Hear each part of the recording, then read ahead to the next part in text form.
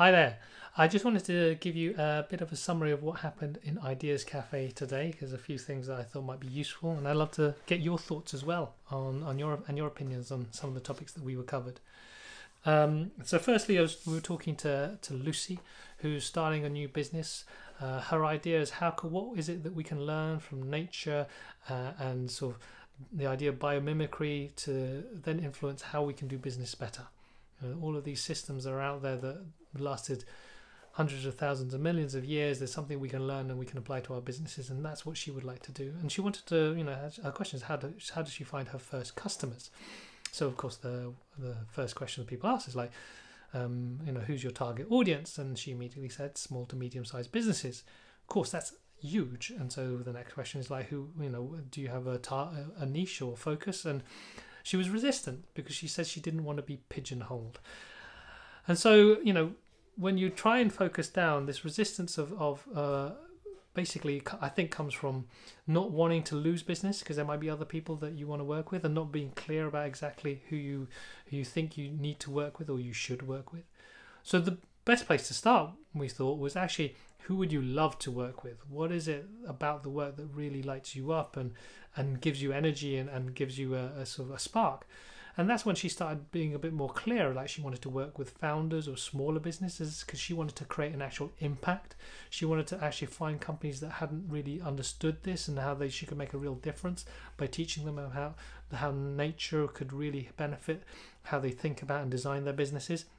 She even started talking about estate agents and finances, uh, fi- companies in finance, and so it was clear that there was this thing about making real clear change whether there's a market there, whether she can sell it, we don't know. But at the same time, at least when she's really clear about she wants to work with companies that she can make a difference in, and there's a real message about the difference she wants to make, then at least with her social media, her marketing, her even her website copy, it can be a lot more focused and a lot more clear. And it was clear to us now exactly what what kind of work she wanted to do. And that makes it easier then when you're writing stuff uh, it doesn't stop you from working with other people.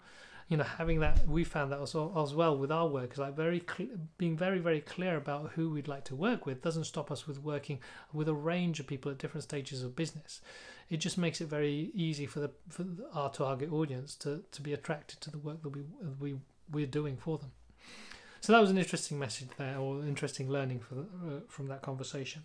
We then had Diana, who she does uh, work around sort of marketing, PR, and editorial, and she was um, asking about how can she basically strategies around cold calling, getting new clients. Um, what is the message, and what is how often should you call people before stop you know stopping being being a pain, and you know how many times should she get back to them? And you know the challenge is you can have the best message you really know exactly the value you create and uh, and you can really have the right words that can convert people. When it comes to cold calling what we've discussed is like it's all about timing you know. Is it the service that the person needs at that time? Because if it isn't then it doesn't matter how good your your pitch is they're not going to be interested. So we discussed about flipping it more so less about going out reaching out to people all the time. So how can you get people reaching out to you and this is about talking about the value that you create, sharing things that you do that people can maybe do on their own. And so um, I know Nick and Kim do this really, really well. They post a lot about their work and how to do, in Kim's case, how to use your phone uh, to create really great videos. And with Nick, how to really think about innovation to really boost and grow your business.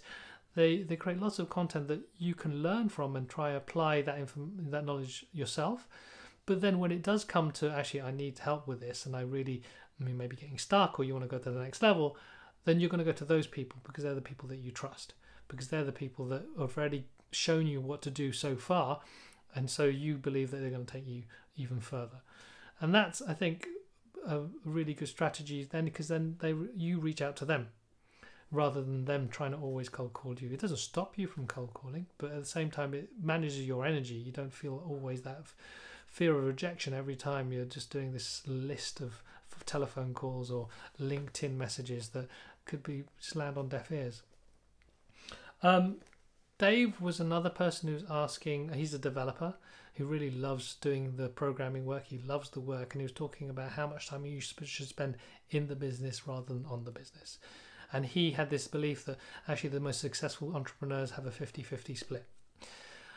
I think ultimately the question he was trying to answer is how can he avoid the peaks and troughs of being a service based business? Where he would be doing lots and lots of work on a project and then the project finishes and then he has to find a new client. And then how can he smooth out that work? What we discussed in the end, I think, is being really clear about again who's who's his customer, who's his target audience, where can he deliver the most value and to whom, so that he can then a focus the message. So not having to say, oh, I have to spend half my day always marketing, spending the right time at the right point when you're energized on the marketing and the business development, being very focused about it, and also looking for the projects that allow you the space to find the next one. So, how can you find a project that you can maybe work on for three months that actually pays you for five, even six months? So then you have that time to then look for the next project. And again a bit like uh, lucy how can you talk about the work you do? How can you share your knowledge in a way that builds trust in, in the audience? And then has people have people coming to you asking for your advice and potentially asking for your help on their next project. And then finally we had uh, mark who runs a video production company. Been a challenging time because everything has to be online now and they can't go and shoot. So they're trying to work out how to waste less time on pitching. He's finding doing a lot of pitches and, and, and basically doing a lot of work and then people not converting. So a lot of the time, I think when it comes to that this kind of creative work, and we had an experience of it as an agency, the value can be very subjective, and so it can be very difficult to be on the same page and for customers to understand why what you're doing for them should cost a certain amount of money. So what we all came to a consensus with, and also it worked with Diana, the the um, the woman who does the copywriting and the, and the PR. It's like, how can you package your work to make it easier for people to understand so that they can see, all right, for this amount of money, I get this, for this amount of money, I get that. It doesn't constrain you and, and pigeonhole you only doing packages. It just helps educate your customer as to the value of your work. And so if it goes out of the define definition of that package, then it becomes bespoke and then it becomes a conversation and then it becomes an easier conversation because they know how it relates to the package and why it should cost more and why it's actually more value and then it becomes less of a all right trying to convince people why that price is the that price. It's more you see the package. If you want that you get that and it costs this much money. If you want something different then it's a conversation and that's a bit of more of uh, interaction to actually find out what you need. And then it becomes more about the value your service is going to create and less about what are the features and how much do i get uh, how much do i need to pay for them so I'd love to hear your questions or your thoughts and reflections around those different topics, whether it's about niching down, whether it's about cold calling or having people come to you, whether it's about how much you spend uh, on the business and in the business, and finally, the idea of packaging up what you do to help people understand um, the value that you create. So, if you have any your own opinions or your own experiences or your own challenges, put them in the comments below.